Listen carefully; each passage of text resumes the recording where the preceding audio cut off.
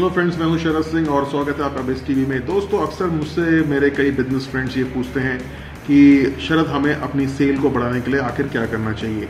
तो दोस्तों, ऐसे लोगों को मैं यही एडवाइस देता हूँ कि अगर आपको अपनी सेल को बढ़ाना है तो टॉप ऑफ़ द वॉइस में अपनी मार्केटिंग आपको करनी ही पड़ेगी।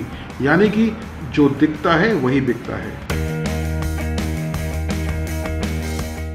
जो दिखता है, वही बिकता है।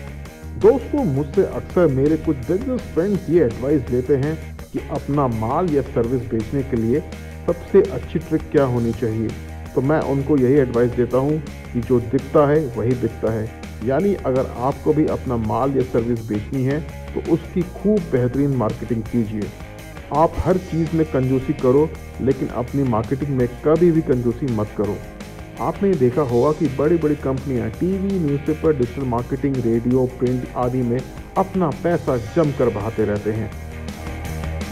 कैसे वो महँगे से महँगे मार्केटिंग मैनेजर सीईओ आदि को हायर करते रहते हैं। देखिए मार्केटिंग ऐसी चीज़ होती है कि आपकी हर कमज़ोरी को छुपा देती है। आप ऊँची ऊँची आवाज़ में ये बोलिए कि मेरा माल सबसे अच्छा है।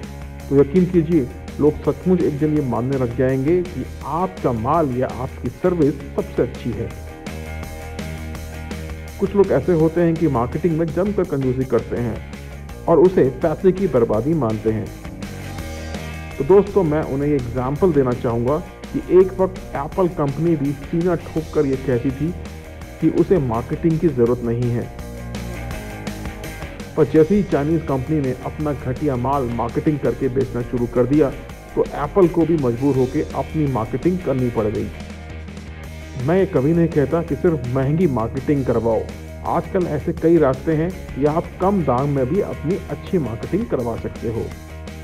याद रखिए, अगर मार्केटिंग नहीं करवाओगे तो सेल कभी नहीं बढ़ेगी। और जो चीज़ बढ़ती नहीं है, वो एक दिन अपनी मौत खुद ही मर जाती है।